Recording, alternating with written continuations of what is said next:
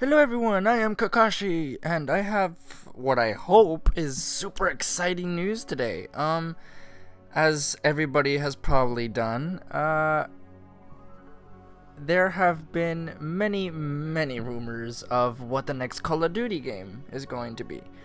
Um, ever since it was unveiled, officially unveiled, everybody kind of guessed anyways that Treyarch was going to be the company making 2015's Call of Duty game.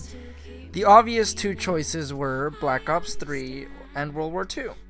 There have been many, many rumors from I've seen Reddit posts that are pretty legit Reddit posts that talk about how it's going to be in the future again.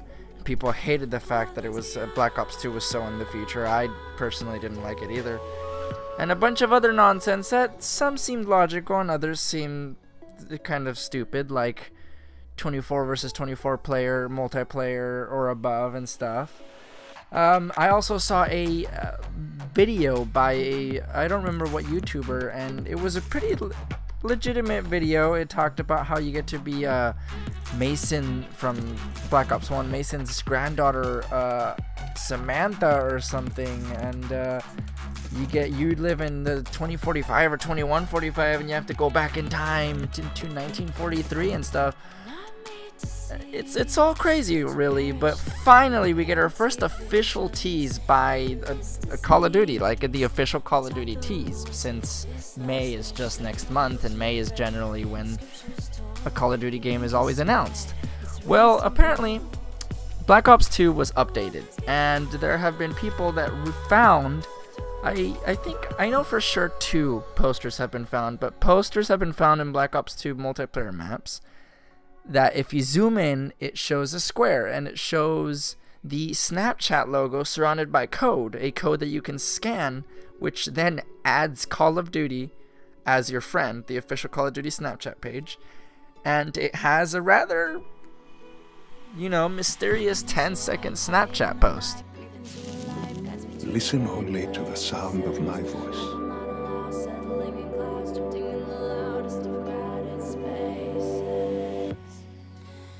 I honestly have no idea what to think of, uh, you know, that te- those 10 seconds.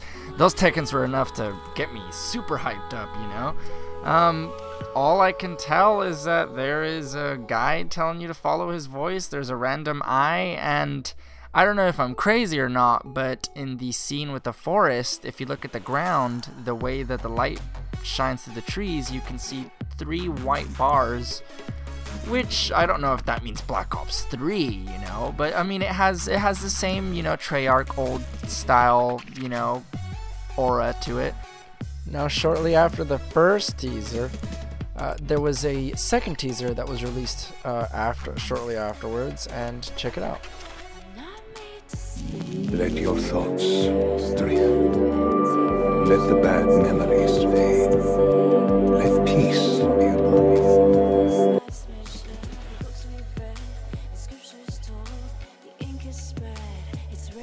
So there you go, guys. It was the second teaser, followed by uh, a screenshot I took of the part that followed that, which was just a picture of a blue moon, and apparently also if you put a specific filter on the blue picture, um, it says Dr. Salim, Dr. Salem, something like that, on top of the moon.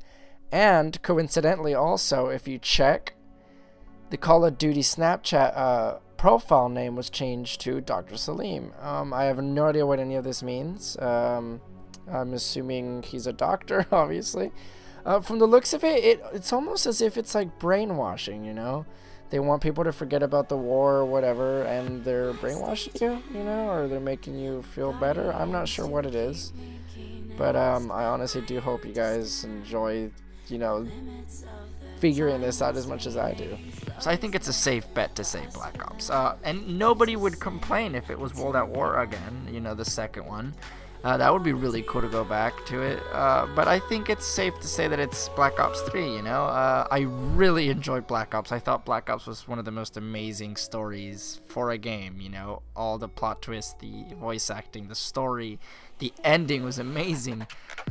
Black Ops 2 came out and I wasn't so sure about it. I wasn't sure how they could keep it going. I thought it was more for money and I thought it was a smart idea. I thought that it was a really wise way to be able to keep it going. I didn't personally like it too much. Uh, the the parts in the game where you can make your own choices, I think they did that way too much, which came out as a bunch of different endings, and some of them were really obscure. I remember there was this one part where you you had to shoot a target that was hooded. Apparently, you were able to shoot that target in the leg, and then it ended up being uh, Mason, and you get to save Mason. Well, I didn't know that. Some parts are just I, I don't know. I technically it was a fun game. I liked it. I liked they were able to continue the story. I didn't find it truly necessary. I didn't like the story as much as Black Ops, obviously. So now for Black Ops 3, that's just like, holy crap, you're pushing it. Like, you know, if the uh, YouTube video I saw was true and you are Mason's granddaughter, Samantha, and you get to go back in time, that's that's cool. I'm glad about that. A lot of one thing that myself included, a lot of people didn't like was it was way too futuristic. Black Ops 2 was. Advanced Warfare was a little bit more believable. Black Ops was just, you know, way ahead in the future. It, obviously, half of it was in the past still. That's what a lot of people loved. I really like that. So if that video that I saw was real and you do get sent back in time because of some weird ass reason to 1943, World War II, that would be a good way to make it almost like World at War II. You know, if almost half or more of the game takes place in World War II, that'd be awesome. You know, that'd be a great thing to do. However, they're gonna connect it to the future or whatever. I don't know, honestly. I am really excited, honestly. I'm really excited. After Advanced Warfare came out and I saw how that was and how amazing it was, I really I'm excited for this because Black Ops 2 came out in 2013, 2012, 2012. Ghost came out 2013, Advanced Warfare came out 2014. So they've had, you know, one, two, two and a half, three years. Treyarch has had two and a half, has pretty much had three years to perfect this. They've been waiting. Um, there have been rumors that there's going to be an exosuit. I honestly don't think so because Advanced Warfare just came out with it. I don't know. I don't know what you guys think. Um, go back and uh, check, you know, the 10 second Snapchat post as much as you wish uh, go ahead and add them. Just add Call of Duty, no spaces, on Snapchat, and uh, they'll add you back, and you'll be able to see it for yourself. So tell me what you think. Also, I don't know if you realize in the end of it there was a random tree. I, I don't know, but uh, it looks intense. It looks a little creepy. It looks mysterious. I am really excited. Hopefully, they don't do the same thing as Black Ops 2 where they branch out a, with a bunch of storylines and everything. Um, I'll try to add a link in the description to the video of the YouTuber I saw who posted a very good explanation and personal story of how he found out rumors about Mason's granddaughter and how there's gonna you're gonna be in the future, you're gonna go back in time. There's gonna be 24 versus 24 multiplayer, um, you know, matches and that it's just gonna connect somehow and they're gonna bring back all the different alternative choices. I really hope it's not true. Uh, I, I don't think that did very well to it, but I don't know honestly. This has been my personal opinion on it. Everybody has their own opinions. All I know is that I'm excited. As much as as much crap as Call of Duty is gonna get every year, no matter what, I am excited for this. I can't wait, and you know, it's just I, I honestly can't wait. I, I, I, I can't. So I hope you guys enjoyed this video. Like, comment, subscribe, uh, comments, anything. Uh, I appreciate it. And I'll see you guys next time.